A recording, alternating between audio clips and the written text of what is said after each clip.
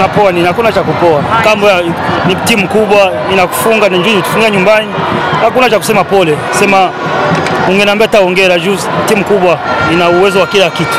Eh, tunakubali matokeo. Yeah. Um, mwalimu tumeona Sasa alikuwa anamaliza siku kama mbili afanye mazoezi, alikuwa na injury kidogo. Si ningefanya kamata riski ya kumwanzisha na pako alikuwa kwa fit. Kwangu mimi siangalii fulani iko inja, mwenye iko fit. Kwanza macha iliisha ilikuwa hakucheza jua, kuna nakumbuka macha ya, ya Moshi ya kucheza. Nikasubiri nione yani, yani mguu wake una- unaendelea vipi. Ilikuwa sijawa 100%. Acha nisikie. Na kama kocha amenitia mtu nje sio sema eti hapa ni kila mtu ana nani Dodoma jiji kuna uwezo wa kucheza. Yeah. Hiyo inatokea jamani, na mjaona wachezaji wakubwa, mtu anazima mpira unapita chini, inatokea ile. Nishakwambia timu kubwa unafanya mistake moja inakuadhibu. Yaani amekamata imeponyoka, unafanyaje? Unakubali?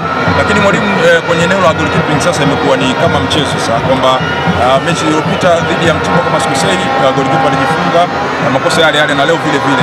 Uh, tutegemee sasa kwenye dirisha lijalo kama utabakia ni sehemu ambayo utaitazama kwa jicho la pili.